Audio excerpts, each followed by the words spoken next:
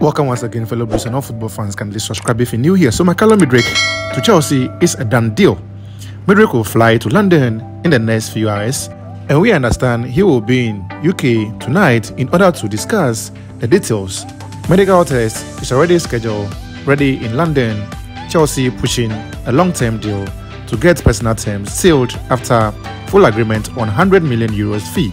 So we understand Mykhaylo Mudryk is now on a plane flying to London. His future enters into key final stages as Chelsea have offered contract valid until June 2030.